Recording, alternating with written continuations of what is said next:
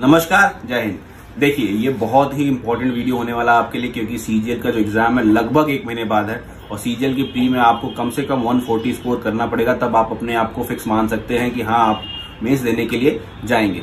तीन चार चीज़ें बताऊँगा, उसको आपको बहुत ध्यान से सुनना है वीडियो को अंत तक देखना है। बहुत ही इंपॉर्टेंट चीज़ है लास्ट की एक मंथ पहले क्या करना चाहिए किस पेरेंट्स को, जिसका स्कोर जो है, जिसका स्कोर 120 भी आ रहा है उसका स्कोर कम से कम 140 145 तक पहुँच जाए। बहुत ही अच्छे से सुनना। सबसे पहला पॉइंट हम देखेंगे रिवीजन जितनी चीज़ें तुम अभी तक पढ़ाई किए हो, अब उसको रिवाइज करना स्टार्ट कर दो। जितनी भी चीज़ें, जितने भी तुमने अपने नोट्स बनाए हैं, जितने भी तुमने डाउट्स के नोट्स बनाए हैं, उन सब नोट्स को रिवीजन का टाइम आ गया है तो आप उसको रिवाइज करना स्टार्ट कर दीजिए। ठीक है? Second thing second thing mock test mock test अब आप डेली दीजिए और बहुत इंटरेस्ट से दीजिए और बहुत ही अच्छे तरीके से उसको एनालाइज करिए। सेकेंड थिंग हो गया मॉक टेस्ट को एनालिसिस करना है बहुत बढ़िया तरीके से। और इससे पहले जो आपने मॉक टेस्ट दे रखे हैं, जो गलतियाँ आपने की हैं मॉक्स में, जो अलग अलग सब्जेक्ट में, उनको रिवाइज करिए दोबारा से। तीसरा पॉइंट क्या है? सब्जेक्ट वाइज मॉक टेस्ट में जो आप एनालिसिस कर रहे हैं और आपको लग रहा है कि रीजनिंग में आपका डाइस चैप्टर कमज़ोर है तो एक बार फिर से डाइस चैप्टर को पढ़िए।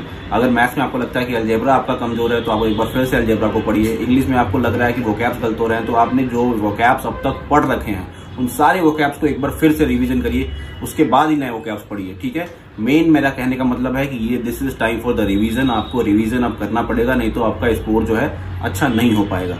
क्योंकि जो आप अभी तक पढ़ चुके हैं, उसको आपको कंठस्थ करके जाना है एग्ज़ाम में।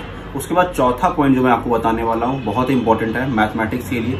मैथमेटिक्स में अब जो जो क्वेश्चंस आपने लगा रखे हैं, जिन जिन क्वेश्चंस में आपको डाउट है, उन उन क्वेश्चंस को दोबारा से लगाइए। चाहे वो कोई भी चैप्टर हो। अगर आपको लगता है कि आपका टाइम एंड डिस्टेंस कमज़ोर है तो आप एक बार टाइम एंड डिस्टेंस के तुरंत सौ सवाल दो सवाल एक बार फिर से लगाइए। कुल कहने का मतलब ये है कि अब आपको करना है रिविजन इंग्लिश के लिए आपको कुछ नहीं करना है वो कैप्स को रिविजन करते रहिए रिविजन करते रहिए और, और इंग्लिश का जो प्रीवियस ईयर है उससे सौ क्वेश्चन दो सौ क्वेश्चन हर चैप्टर से डेली डेली लगाइए। मेन आपको ध्यान देना है अपने मॉक टेस्ट पे। मॉक टेस्ट जितना आप देंगे, उतना ही ज़्यादा बेनिफिशियल होगा आपके लिए, क्योंकि अब आपको अपना दिमाग जो है प्रेयर प्रेशर से बचने के लिए मॉक टेस्ट के साथ यूज़ टू करना पड़ेगा, क्योंकि एग्ज़ाम में बहुत ज़्यादा प्रेशर होता है। ये तीन चार चीज़ें जो मैंने आपको बताई हैं, इन तीन चार चीज़ों को बिल्कुल ध्यान रखिए। और जो सबसे इंपॉर्टेंट पॉइंट है करंट अफेयर्स अब कहाँ से करें क्योंकि करंट अफेयर्स अब करने का टाइम आ गया है तो मैं आपको बता रहा हूँ। मैंने सर्च किया है यूट्यूब पे एक परचम क्लासेस करके हैं, वहाँ पे करंट अफेयर्स बहुत ही अच्छे तरीके से अवेलेबल है। आप उसको कर सकते हैं निमोनिक्स के साथ वो मैम पढ़ाती हैं तो जल्दी याद भी हो जाता है। उसको करिए, वहाँ से करंट अफेयर्स आपका कवर हो जाएगा। अगर आपके पास स्टडी आई के मटेरियल्स पड़े हैं तो आप वहाँ से भी अपना करंट अफेयर्स कवर कर सकते हैं, लेकिन अब आपको करंट अफेयर्स पे ज़्यादा ध्यान देना है और अपने रिवीजन पे ज़्यादा ध्यान देना है। अगर आपको अपना स्कोर 140 प्लस करना है सीजीएल प्री में तो ये तीन चार चीज़ें आपको बिल्कुल ध्यान रखनी है। मैं बिल्कुल प्रैक्टिकल बता रहा हूँ आपको 180 नंबर बता 180 नंबर ले आने का ट्रिक नहीं बता रहा हूँ मैं, बस आपको ये बता रहा हूँ कि अगर आपको स्कोर 120 125 आ रहा है तो उसको 145 तक आप एक महीने पहुँचा सकते हैं। आशा करता हूँ कि वीडियो आपको पसंद आई होगी। पसंद आई होगी तो वीडियो को लाइक कर दीजिएगा। चैनल को नए आए हैं तो सब्सक्राइब कर लेना। और तुम्हें जो डाउट है वो पूछ लेना।